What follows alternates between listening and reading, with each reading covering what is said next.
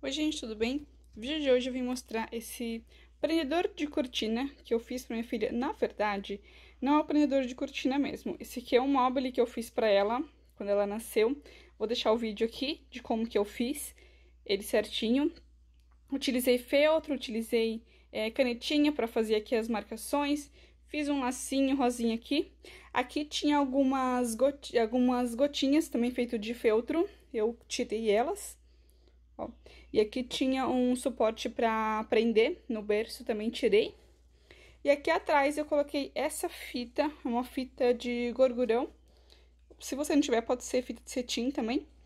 E aí eu vou amarrar ele na cortina. É, como ela não utiliza móvel mais, e aí tava ele guardado, decidi fazer esse prendedor de cortina. É uma nuvem bem bonitinha, foi bem simples de fazer ela. E ela tava guardada, tava um pouquinho suja quando eu... Suja não, né? É, acaba pegando uma poeira porque é branco e eu tive que lavar. Quando eu lavei, somente essa tinta aqui preta ficou um pouquinho clarinha, então tive que refazer ela, refazer. E aqui eu passei blush de novo, porque acabou saindo, né? Ele tava bem escurinho já, por causa do branco, né? Então eu lavei, deixei bem cheirosinho e agora eu vou colocar lá na cortina pra vocês verem como que vai ficar bonita.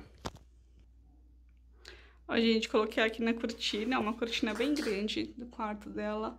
Aí depois eu vou prender a parte ali em cima para ficar mais bonitinha, né, a cortina.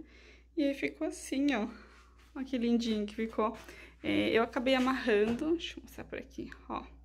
Eu só amarrei ela. É, dei um nó só, só pra prender pra ficar bonitinho no quarto. Achei que ficou bem, bem bonito. Foi uma ótima forma aí de de aproveitar esse móvel que eu fiz pra ela.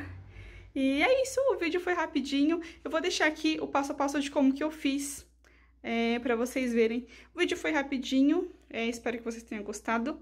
Um beijo e até o próximo.